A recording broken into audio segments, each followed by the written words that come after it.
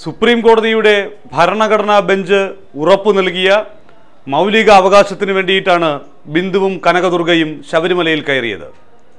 അവർ ശബരിമലയിലെത്തി ദർശനം നടത്തിയെന്ന് സ്ഥിരീകരിച്ചപ്പോൾ നടയടച്ച് ശുദ്ധിക്രിയ ചെയ്തിരിക്കുന്നു ശബരിമല തന്ത്രി. ശരിക്കു പറഞ്ഞാൽ ശബരിമലയിൽ യുവതികളെ കയറ്റാതെ തടയുന്നതിനേക്കാൾ വലിയ കോടതി അലക്ഷ്യമാകും ഈ സ്ത്രീകൾ കയറിയതിന്റെ പേരിലുള്ള നടയടയ്ക്കലും സ്ത്രീകളെ ദൈവത്തെ കാണിക്കാതെ നടയടയ്ക്കാനുള്ള തീരുമാനവുമൊക്കെ. ശ്രദ്ധിക്കേണ്ട ഒരു കാര്യം ഈ തന്ത്രി കുടുംബത്തിന് വേണ്ടി അഭിഭാഷകർ സുപ്രീം കോടതിയിൽ ഉയർത്തിയ വാദമുഖങ്ങളിൽ വളരെ പ്രധാനപ്പെട്ട ഒന്നായിരുന്നു ഈ സ്ത്രീകൾ കയറിയാൽ അയ്യപ്പന്റെ നൈഷ്ഠിക ബ്രഹ്മചാര്യത്തിന് തടസ്സമുണ്ടാകുമെന്നും അതുകൊണ്ട് തന്നെ അവിടെ ശുദ്ധിക്രിയകൾ വേണ്ടിവരും എന്നുള്ളത്. പിന്നീട് സുപ്രീം കോടതിയുടെ ഭരണഘടനാ ബെഞ്ച് വിദഗ്ധമായി ബാക്കിയുള്ള വാദഗതികളൊക്കെ കേട്ടതിന് ശേഷം കൃത്യമായി തന്നെ പറഞ്ഞു വച്ച കാര്യം എന്താ ഈ ആചാരങ്ങളെക്കാൾ മുകളിൽ നിൽക്കുന്ന ഭരണഘടനാപരമായ ഒരവകാശമുണ്ട്.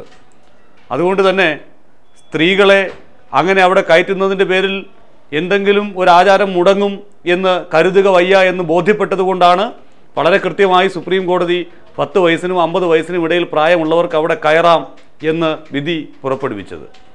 വ്യക്തിപരമായി എതിർക്കുന്നില്ലെങ്കിലും ആ വിധി നടപ്പിലാക്കിയല്ലേ പറ്റൂ എന്ന് ആദ്യം പറഞ്ഞ മഹാനാണ് ഇന്ന് രണ്ട് യുവതികൾ കയറിയപ്പോൾ നടയടച്ചിട്ടത് എന്ന് ഓർക്കുക. യുവതികൾ വരുന്ന സമയങ്ങളിലെല്ലാം ഇങ്ങനെ നടയടച്ചിടാൻ ആണെങ്കിൽ എങ്ങനെ സുപ്രീം കോടതി വിധിയുടെ പൂർണമായ നടപ്പാക്കലായി അത് മാറും? സുപ്രീം കോടതി വിധി അംഗീകരിക്കലായി മാറും?